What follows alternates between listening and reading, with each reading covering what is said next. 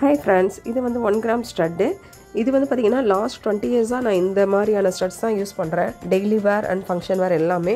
உங்களுக்கு இச்சிங் இருக்காது வந்து காதில் வந்து புண்ணு ஆகாது ரொம்ப அருமையாக இருக்கும். கோல்டு மாதிரியே இருக்கும். காதில் போட்டிங்கன்னா கோல்டு மாதிரியே இருக்கும். உங்களுக்கு எந்த விதமான கவரிங்னு கண்டுபிடிக்கவே முடியாத அளவுக்கு நிறைய வெரைட்டிஸ் வந்து நீங்கள் இதில் யூஸ் பண்ணலாம். தேங்க்யூ